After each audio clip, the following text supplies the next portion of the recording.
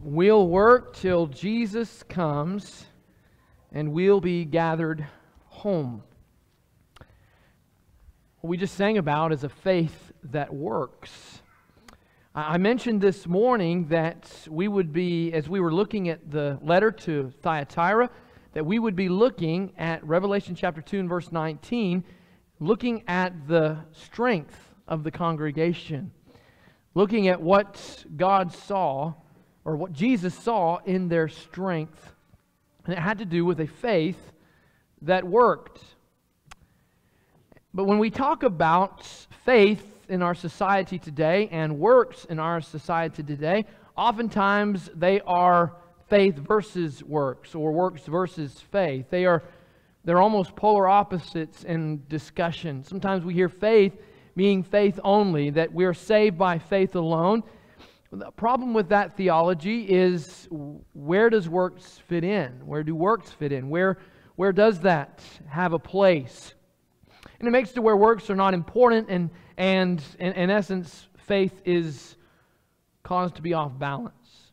It's a view that it's off balance, and we don't find it within Scripture. But then sometimes we have the opposite extreme. We react to that and we say, well, you've got to work. And we just sang about working till Jesus comes. And and that works are, are, a way that will earn salvation. I don't know of anyone who just comes out and just says that, but it sure comes across that way, especially to those who have the faith only mentality. And so it causes the VS in the middle, the verses. We don't find it in V E R S E S. Because when we talk about a works based faith, that it's only works that will get us to heaven that is too, that is offside, or that is uh, lopsided, that is off kilter. In fact, there, is a, there was a society that had a works based mentality concerning freedom. You may uh, be familiar with this phrase. It's a German phrase. Don't even get me to try to pronounce it, but uh, Arbeitsmacht free. I, am not sure on, on that pronunciation. But it's, it meant work makes free. And when Mary went to Auschwitz uh, in Europe, she went to the, the concentration camp there. This was on the, this was on the, the gates to the concentration camp. And it, you actually can see it. This was the slogan of Auschwitz work makes free. So, what it was saying is, work, you will gain your freedom. What, what they were actually telling the people who were coming in by the millions was that they would work to the point of death and then they would gain their freedom. You know, so when we're talking about this, that's a society that was completely off base, it was completely the opposite of faith.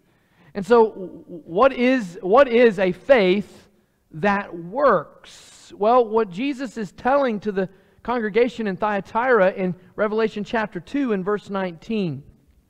If you'll look at that with me. I'd like to look at 18 and 19 again. It says, "Into the angel of the church in Thyatira write the words of the Son of God, who has eyes like a flame of fire, whose feet are like burnished bronze. I know your works, your love and faith and service and patience, endurance, and that your latter works exceed the first. You see what Jesus is saying here? He's saying, I know your works, and then he says, your love. Love being a work. Your faith. Faith being a work. You see, Jesus had a mentality that was that faith and works go together, they are not in opposition to each other. And so we're going to allow these to be our lesson for this morning, or this evening, from this morning. I know your works, in the first place, of love. I know your works of love. Now, as he's telling this to th- those in Thyatira, the fact that he mentions love first, we realize that he'd already mentioned a congregation first in the seven churches. And w- what we talked about this morning was that in Ephesus, the, their, their good, the, the blessings, that we find coming from Ephesus and the blessings we find coming from Thyatira almost seem similar. They're almost identical. If you will look at chapter 2, verse 2 through 5, it says, I know your works, tell, telling the, uh, the congregation in Ephesus, Jesus says, your toil and your patient endurance, and how you cannot bear with those who are evil, but have tested those who call themselves apostles and are not. You see, they had false apostles coming in, cl- claiming to be sent by God, and they weren't. And how many people would have just said, okay, they're saying they're from Christ. That's good enough for me. They were willing to investigate, and they actually discovered that they were actually not followers of Christ. It's a win. It says, and they found them to be false. Verse 3 it says, I know you are enduring patiently and bearing up for my name's sake, and you've not grown weary. So you think about being inundated with false teaching, and they're willing to stand up for what, it, what is right to the point that they've not grown weary. But he says in verse 4 I have this against you that you have abandoned the love you had at first. They forgot love. They're doing all this work for God, but they had forgotten the reason why. Love had to be the reason for why they were standing up for Christ. Love has to be the reason that we work till Jesus comes. So when Jesus is telling those of Thyatira the very first thing, the first work that they, that they are known for is their love, they hadn't forgotten. And it is a blessing for Christianity to, to exude love. This word for love is the same word used in 1 Corinthians chapter 13. Love is patient. That would show why they had been able to be patiently enduring. Love shows why they've had their faith. Love shows why they've had service. Love is patient. Love is kind. Love does not envy. It does not boast. It is not proud. It is not rude. It is not easily angered it keeps no record of wrongs. Love never fails. Love is a work that has to continue. It can't be forgotten like that in Ephesus. In fact, the Ephesians were told to repent and do the works you did at first. What was the works they did at first? Their first was love. They had to remember because it was love that caused Jesus to die. If you will, look at John 13 and verse 35. By this, all men will know that you are my disciples if you have love for one another. The defining characteristic of a disciple is love. If you have love, they will know, all men will know that you're my disciples. But if we forget love, then people are going to look at and say, well, that's not Christianity. And it could be coming from the completely wrong direction. So, love is a characteristic, is a work from which come every, comes everything else. And in fact, we're told in 1 John chapter 4 that we love because he first loved us. So we recognize that love is the whole reason we're here because God sent his son to die for you and I. So therefore, we continue the understanding of love. We show that for other people as we follow Christ. So I know your works of love. So notice the, the second was, I know your works of faith. So again, we've already seen that, that to Jesus, works and faith are one and the same. That you can't have one without the other because he's defining he's defining work as faith. And so a faith that doesn't work is broken. A faith that doesn't work is useless because Jesus sees the two as one and the same. Well, his brother saw this as well. As James wrote to the 12 churches, or the 12 churches, the 12 tribes in the dispersion. We're talking about the seven churches. I got confused. James chapter 2 and verse 14, if you'll turn there with me. James chapter 2. And verse 14, this is a very familiar passage. It says, What good is it, my brothers, if someone says he has faith, but does not have works? Can that faith save him? So, can a faith without works save him? He leaves it as a question, and, and we continue. If a brother or sister is poorly clothed and lacking in daily food, and one of you says to them, Go in peace, be warmed and filled, without giving them the things needed for the body, what good is that? So when he goes and he, he says, What good is it, my brothers, if someone says he has faith but does not have works? He then clarifies what that work is. Go telling someone who is is is is hungry or poorly clothed, say, Go be warmed and filled. But don't actually give them a coat, don't give them a meal. That's the kind of works he's talking about. He's saying that's an empty faith. That's a faith that doesn't work, literally. Verse 17 So also faith by itself, if it does not have works, it's not just empty, it is dead. Is dead. But again, we, we can't have works without faith. I'll just work, I'll just do as much as I can to work for God, but you know, I'll fake it till I make it. That's, that's not what that's talking about either. Faith and works go together hand in hand. Faith supplements our works. Faith is what helps us to motivate us forward, is it not? But also, as others see the love of Christ, it will cause others to recognize by this all men will know that you are my disciples if you have love for one another and then when you when you see someone else obey the same gospel that you did doesn't it cause encouragement helps us to realize wow what the bible said saved me and it saved the stranger that i met doesn't that just just uh, just build your faith? You see how it works in this perfect circle of blessings. Verse 18 says, "But someone will say, you have faith, and I have works. Show me your faith apart from your works, and I'll show you my faith by my works." You can't just say, "Well, we have one group, you know, one person over here, they've got faith, but they're just they don't really do anything. They just, they just, they're very faithful.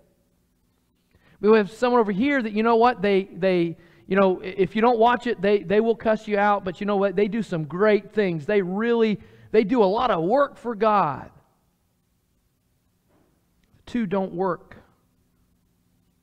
It's got to be one person that has both. In fact, he then explains how that's not possible to have just one and not the other because then he describes the individual who has faith only. And that's 19. You believe that God is one, you do well. Even the demons believe and shudder. Demons, if you look throughout Scripture, recognized who Jesus was. They knew he was the Son of God. What have we to do with you, Jesus Christ? the Son of God. The demons would constantly respond.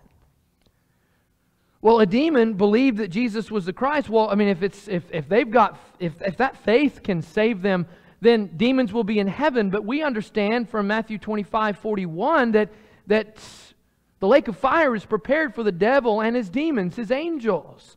So we know that demons will not be in heaven, but we also know that they believe, but they don't have works. They have faith, but that doesn't, but they're not going to obey.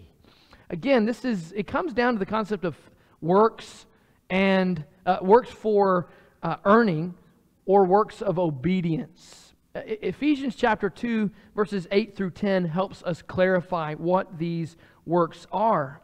Again, we have that Jesus saw that works and faith are one and the same. But Paul tells the Ephesian congregation where the works come in and where the faith comes in. And it is a beautiful perspective. Ephesians 2 and verse 8 beginning says, For by grace you have been saved through faith. So by means of faith. So, and this is not your own doing, it is a gift of God. So again, this is where the concept of faith only has come in because Works have nothing to do. You cannot earn your salvation. There is nothing that you could do that would make it to where, you know what, I earned my ticket to heaven. There's nothing. It's a gift of God. Notice verse 9. It says, not a result of works. So, what is the, the result? The salvation is not a result of works. So, it's the idea of the, of the concentration camp. If you work, it will make you free. You will earn your salvation if you work. It'll get out of the concentration camp. Well, that's just sinister. So, it can't be that. And that's why, if people think that we're saying the opposite of faith only is countered by works only, then it seems evil because it is. It's not as a result of works, so that no one may boast. You see, if we think it's all about works that get us to heaven, you say, well, look at all the good things that I'm doing, and you can then just, hey, hey, hey, boast in that. It's a very Pharisaical approach to following God. Verse 10, 4, uh, I'll read it again. Not as a result of works, so that no one may boast, for we are his workmanship, created in Christ Jesus for good works, which God prepared beforehand that we should walk in him. We work because we're saved. We work because God saved us by his grace. But works are very much a part of it. We've been made to work. That's what Jesus sees. That's why he said, I know your works of faith. So may we recognize this and be like that of Thyatira with their good, with their strength. In the third place, he says, I know your works of service. I know your works of service. Well, their, their concept, the, the concept of service there is the, the idea of ministry, to minister to others, to reach out, to fill the needs of others. Again, if it wasn't for their love and it wasn't for their faith, service would not take place. I, I submit that service is a result of love and faith. When we have those things, we're going to serve one another. I'm so thankful for Jack Taggart's prayer this evening. The focus was may we what, what was it what was it that may we serve with this church as much as we possibly can in the prayer? I, I immediately thought of this point. What a precious focus. And may that be our prayer. That we see opportunities to serve and we take hold of them. May, may we see JJ's face on the elf in the foyer. I love that shaking of head. But it, own it, brother. Own it. But, you know, but seeing that elf out in the foyer and knowing that we're putting coats, you know, for our coat drive when we have pizza with Santa. I think it's fitting that uh, Santa also has a coat, but that's, a, that's another discussion. But the idea is we have an opportunity to, to help, not just say to this community, hey, go be warmed and, and filled and not bring something. There's a physical, tangible thing that we can do. And it's right there in the foyer. Uh, I mentioned at the, the uh, announcements this morning, we have the Vigil family that uh, when last year when they came and they visited with us, that there, the, the, there was the three of them, their mother and two daughters, and the mother passed away the following day, and we were able to be there for them. We have an opportunity to help them because the house is, uh, has actually just been, um, they're about to close and they have to be out by the 15th. I didn't even know that they owned a house. They've been in Wyoming for a year. And I just reached out to her and said, Hey, I haven't heard. I knew they were coming back to Sanford. I said, Is there anything we can do? She said, She was in Wyoming. She said, I'm buying a ticket. I'm coming back to, down tomorrow. She said, We've got to pack up the house. So, can you imagine a 19 year old having to pack up their mother's stuff on their own? Said there's an opportunity here. So Tuesday we're going to try to get a group from our Christians in Action group after. And anyone who can come with trailers or with trucks, we can try to move them either to a storage facility or a, an apartment so that they can be they can be uh, served from this congregation. It's an opportunity for us. So we're created for good works. Notice it says that we should walk in them. We, we should conduct our lives in them, in our service. Look at Ephesians chapter 4. We were in chapter 2 and verse 10, but I like to look at chapter 4. What is the whole purpose of the teaching that we have when we have Bible class? And what, what is the purpose of our sermons? And yes, it's a part of our worship to God, but there's also an equipping nature equipping for the saints to do something. Ephesians chapter 4, verse 11. And he gave, this is Jesus, gave the apostles, the prophets, the evangelists, the shepherds, and teachers to equip the saints for the work of ministry. Ministry, the same word is used for the word service that Jesus uses in, in uh, Revelation 2.19. So you, you and I have been equipped all along for serving this community. We've been equipped to help, to pitch in, and that comes from, from the apostles' teaching, the gospel message that we're, we're hearing every Sunday and Wednesday that we're together. From evangelists and from our shepherds, from our teachers, from our deacons, to equip the saints for the work of ministry for what? For building up the body of Christ until we all attain to the unity of the faith and of the knowledge of the Son of God to mature manhood, to the measure of the stature of the fullness of Christ, so that we may no longer be children tossed to and fro by the waves and carried about by every wind of doctrine, by human cunning, by craftiness and deceitful schemes. So notice this ministry is for building up the body until we all attain to the unity of the faith in the knowledge of the Son of God. So notice that will not be children tossed to and fro. Is this community not filled with children tossed to and fro by every wind of doctrine? We've been equipped with understanding that we've got a, we've got a simple message that we don't have to recreate. A message that has been provided for us, and we just simply follow that message. We strive to restore the New Testament church, uh, and, and it doesn't take long to recognize the teachings that are out there that have made it crumble in the minds of our people, of our communities. We can build up this body to help build up this community to become a part of the body. And that takes works of service from our love and our faith. He says, I know your works of patience. I know your works of patience. The word for patience is hupomone. And I want to make sure that I, I, say it exactly. It says the capacity to hold out or bear up in the face of difficulty. So we're going to face difficulty. We're, we're going to face hardship, and patience gives us this capacity to bear up in the face of it. Not cower, not fall back, to be able to stand firm.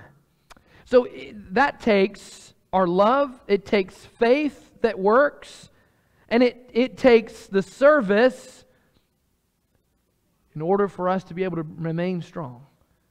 Because we're not just doing this alone, we're doing it together. We're working together.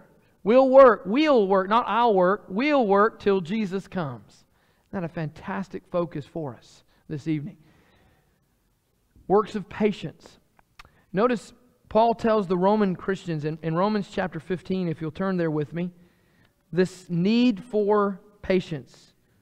In fact, we could go to chapter 5 of Romans and see that, but I'd like to go to chapter 15. And beginning in verse 1, it says, We who are strong have an obligation to bear with the failings of the weak and not to please ourselves. So he's given an example for Christianity. It's no longer about me, it's no longer about you, it's about us we will work till Jesus comes. So we are we who are strong have an obligation to bear with the failings of the weak and not to please ourselves. Let each of us please his neighbor for his good to build him up. You know, the opposite of this could be, well, those who are strong can, can look around at those who are weak and say, I would never do that. And that's all about pleasing oneself. Well, at least I'm not brother or sister so and so. Let us let each of us please his neighbor for his good to build him up. If we were focused on ourselves, that would actually tear somebody else down. That's the opposite. Verse 3 says, For Christ did not please himself, but as it is written, the reproaches of those who reproached you fell on me. Jesus took on the sin of the world, the reproaches of the world, so that we wouldn't have to. Verse 4 for whatever was written in former days was written for our instruction, that through endurance and through the encouragement of the Scriptures we might have hope. The word for endurance is the same word used here. That through the ability to bear up in the face of difficulty and the encouragement of the Scriptures, we might have hope. You know, when we're facing difficulty, where do we turn? We turn to the Scriptures. We turn to the Scriptures, and therefore we find hope in the midst of difficulty. Notice it says that together you may with one voice glorify the God and Father of our Lord Jesus Christ. So when, when, when each individual, eh, each and every one of us, faces our own individual difficulty, we turn to the Scriptures. But we also live in such harmony with one another, in accord with Christ Jesus. So when all of us do that, we have an accord with one another, we have a harmony with one another to where we're together, and it gives us strength, helps us to maintain our patience. That together you may with one voice glorify the God and Father of our Lord Jesus Christ. Therefore, welcome one another as Christ has welcomed you for the glory of God. So notice when we welcome one another, when we greet one another, when we take care of one another in this way, that helps us with our endurance that we find in verse 5. In the fifth and final place, he says, I know your works have grown.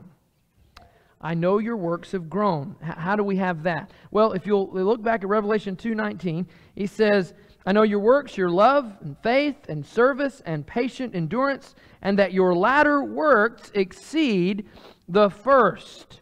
So the fact that works were, were mentioned first, then works are mentioned second, is why I believe that love, faith, service, and patience are all works as well. But notice it says that your latter works exceed the first. What you did at first is actually blown out of the water by the works that they're doing now. That means they're continuing to grow in their works. Work of God, the works that we do for the Lord, will build on themselves and will continue to grow. So the idea is we don't just say, well, we did this one event and now we're done. The idea is that each of these, have you noticed that when we have had events in this community, that we've met some of the same people? we have had the same opportunity, uh, another opportunity to meet that person. I remember actually having a conversation walking through the line at Pizza with Santa last year and then seeing a lady come the Sunday after we had our trunk or treat this year. And I said, I remember you from our conversation when we were walking through with the Pizza Santa. So uh, we just never know. We never know what's going to take place but when we're meeting people constantly, and I, have been talking, I talked to a lady at a bakery down uh, Old Springville Road, and she knew all about this congregation. She actually was able to list all, all the things that this congregation is doing as she's driven by. That's an opportunity that I'm taking to try to reach her. So we recognize that growth continues, it doesn't stifle. Uh, in, in that's what Peter was talking about in 2 Peter chapter 1 in verse 5 through 10. 2 Peter 1 verse 5. This, this concept of this constant growth, and it takes verse 5 For this very reason, make every effort to supplement your faith with moral excellence, and moral excellence or virtue with knowledge, and knowledge with self control and self control with steadfastness, and steadfastness with godliness, and godliness with brotherly affection, and brotherly affection with love. Notice these qualities are constantly growing on themselves. Starts with faith, but faith needs to be added to. Well, we add virtue. Well, how do we gain virtue? By knowledge. We study the Word of God to find out what the moral excellence of God is and that will build our faith. Isn't that powerful? You see how this all builds off of itself. Well, when, when, I've, when I'm gaining knowledge, I need to continue to gain in knowledge. Therefore, self control is so important that I'm not just going to study for a little while and then just burn out. Self control will help us stay in the knowledge to then gain virtue to build our faith. Steadfastness is going to help me to remain self controlled. It's going to help me to, to, to not give up prematurely. And then steadfastness is going to be supplemented by godliness. If I can remain godly, then it's going to help me to remain patient. I'm going to try to get rid of things that are in this world that are causing my, my patience to wane. I'm going to constantly try to follow God, not myself. And how do I do that? By being around my brothers and sisters who are striving to do the same thing. And that's where it says brotherly affection. And brotherly affection with love. If, again, love has got to be there as a work that will help us to remain strong. Maybe not be like Ephesus that forgot their first love. They stopped, they forgot why they did what they were doing. Notice these qualities are mentioned in verse 8. For if these qualities, this do list is what I like to call it, are yours and are increasing, so constantly growing, constantly being added and growing, they keep you from being ineffective or unfruitful in the knowledge of our Lord Jesus Christ. Then he goes and says, Whoever lacks these qualities is so nearsighted that he is blind, having forgotten that he was cleansed for the former sins. That's why Ephesus was told to repent and do the works they'd done at first because they'd left their first love. They forgot, having forgotten that he was cleansed from his former sins. It is so easy for us to fall back into the world when we're not actively striving to grow in this way. Therefore, brothers, be all the more diligent to make your calling and election sure. For if you practice these qualities, you will never fall. We've got to put these, these qualities into action, and we will never fall. Again, there are so many things that are working together to help us to make sure we never fall. Again, it's not your work that makes it to where you will never fall. It's not something that could bring about boasting to where we'd fall. He who thinks he stands, take heed lest he fall. We're relying on each other. And notice verse 10, it's really a call, a plea for invitation. Brothers, be all the more diligent to make your calling and election sure. So I ask you this evening is your calling and election sure? The works that you're doing for the Lord, are they waning or are they growing? We're here to encourage you. We're here to help motivate and to help lift you up. And that's why I wanted us to make sure we did not leave Revelation chapter 2 and verse 19 without this focus tonight. May we be like those in Thyatira, but not go back to the world. Maybe you're here tonight and you're needing encouragement. You need the love that this congregation has to help you and to remain strong. Maybe you're here tonight and you're not a child of God and you need to come to Christ. Are you willing to come and confess that He is Lord of this entire world and also of your life? To repent of your sins, be baptized in His name for forgiveness. Whatever your need is, please make it be known. While together we stand and while we sing.